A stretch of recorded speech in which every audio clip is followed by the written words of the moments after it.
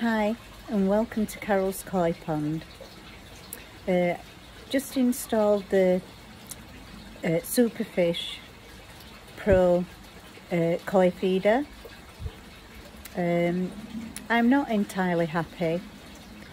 As you all know, I do like to feed my fish by hand and I'm finding that the little one that I have is not getting as much food.